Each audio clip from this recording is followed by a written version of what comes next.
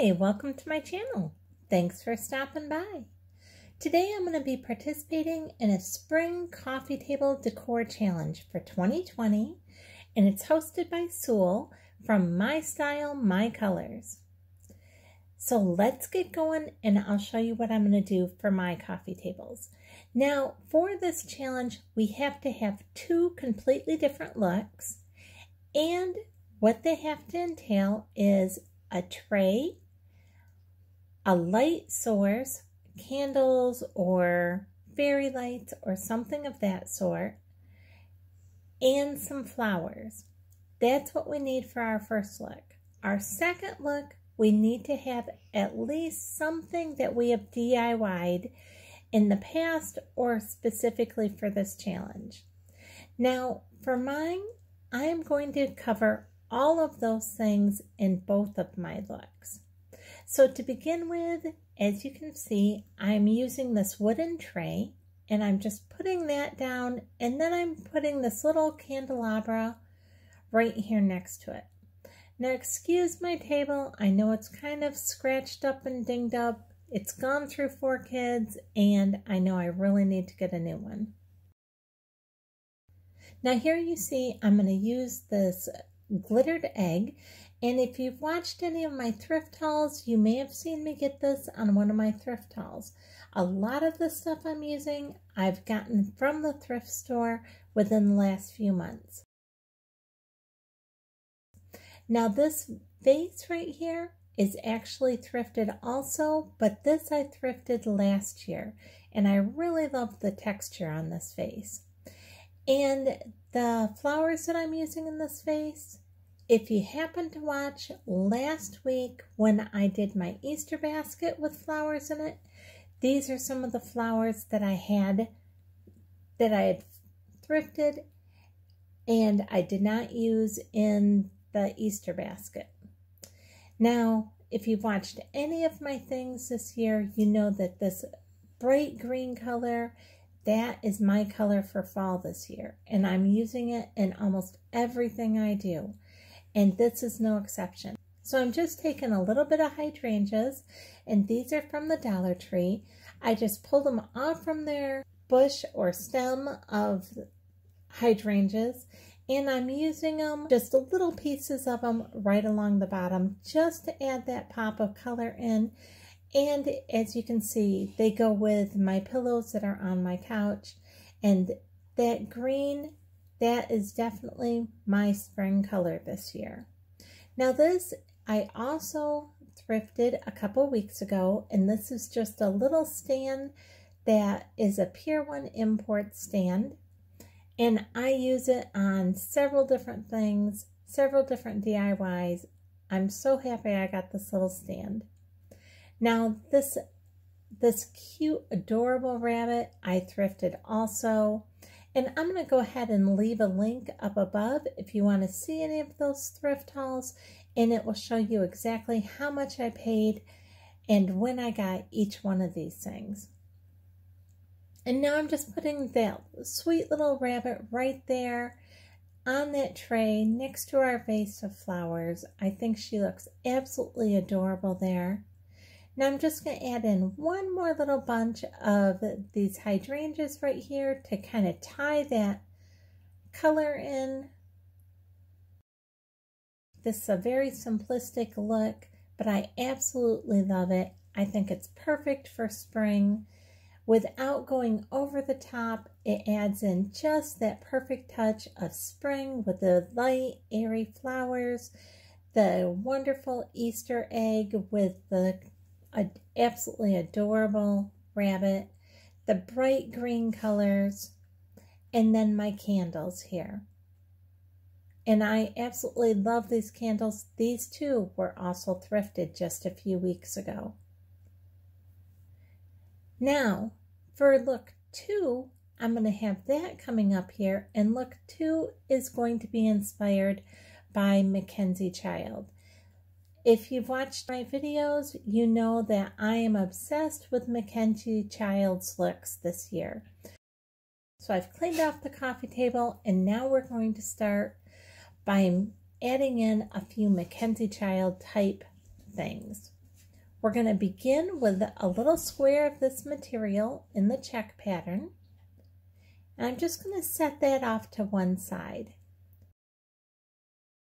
Next, I have a couple of these books, and these are just white books. I've used these on some other coffee table challenges, so you've seen those before. And I'm just going to use those as a little bit of a stand this time.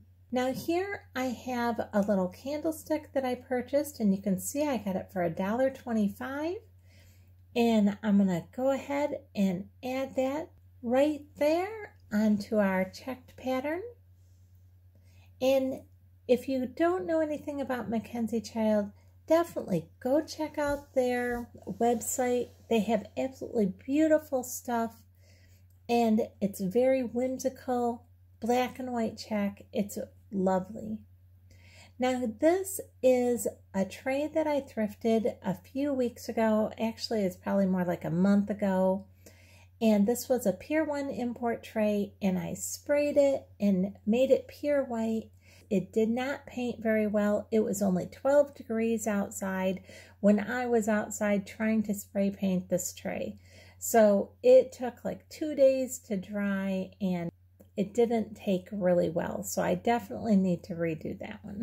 But that's okay. We're not going to see a whole lot of those imperfections because I'm just going to take another piece of my fabric here and lay it right on top of my tray, just like that.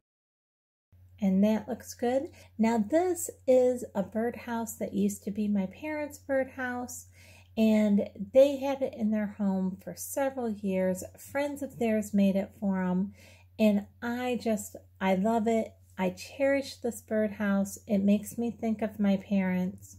I absolutely love having this around and it always brings a smile to my face. Now over here, I have this Mackenzie Child rabbit that I painted along with some paper roses that I made. And I'll go ahead and put links up above if you want to know how to make these paper roses or if you'd like to learn how to paint a rabbit like this. Now once again we're going to use this little Pier 1 import stand and I'm just going to set it down here right underneath our birdhouse.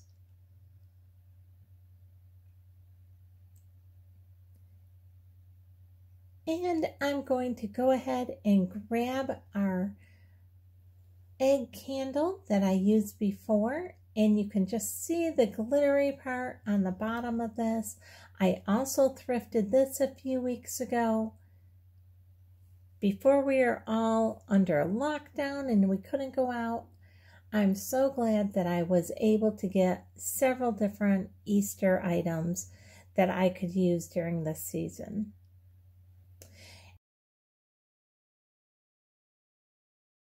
And this is another one of those. This little tiny birdhouse, I thought it was just adorable when I got it.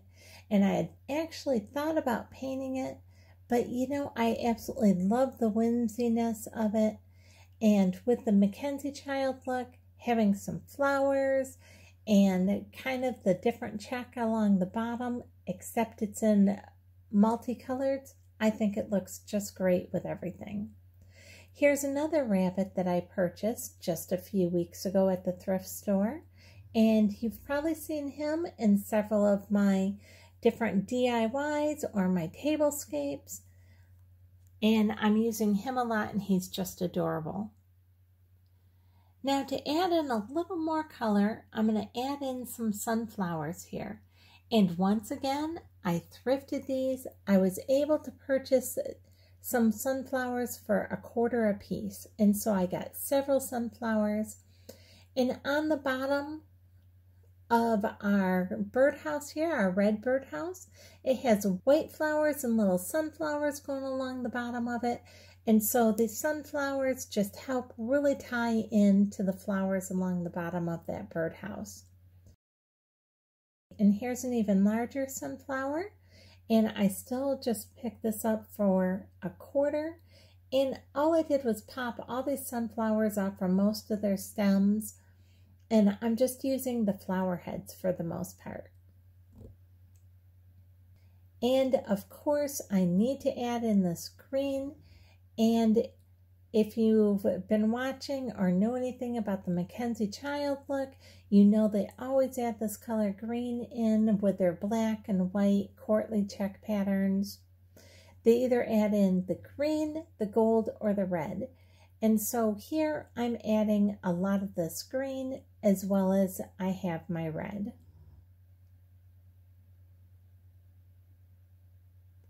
And I'm just grabbing some of these and randomly putting them around where I see some empty spots like right here. And I think I need one more in between the birdhouse and between the two birdhouses actually, right? Yes. Think that will be perfect right there. And I'm really liking the way this looks. Stand back and just kind of look here a minute. Now, I think I want to add in a few eggs here just to, again, add in that whimsy to it. Mackenzie Child always has such fun and whimsical things. And so I'm trying to emulate that with a fun and whimsical look also. And here you can see I have some very small sunflowers so I have three different size sunflowers here, the medium, the large, and then the small.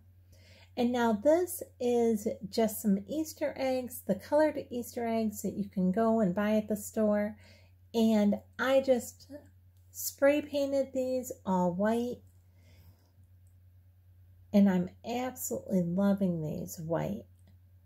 They really go in with the look of everything. We can just kind of tuck that one in there.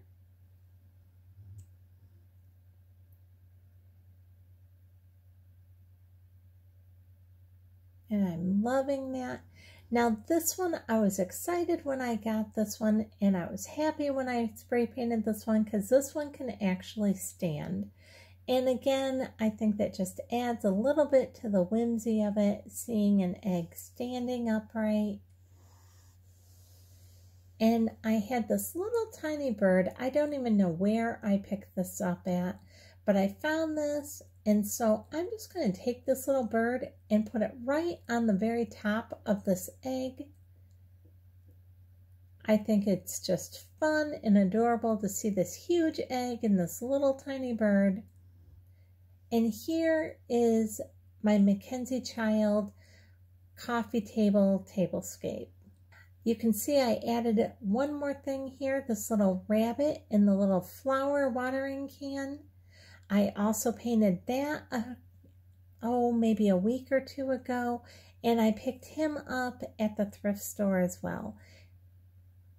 And I have a video on painting him if you'd like to see that as well.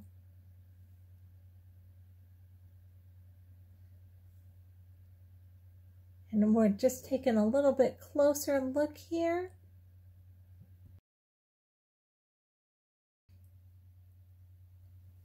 I hope you've enjoyed this video.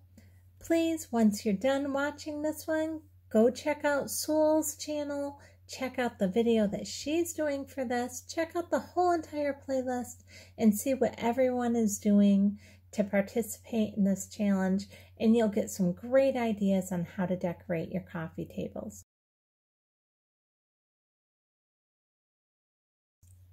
If you like this video, I'd really appreciate it if you give me a thumbs up, subscribe, and hit the bell so you'll be notified the next time I upload a video.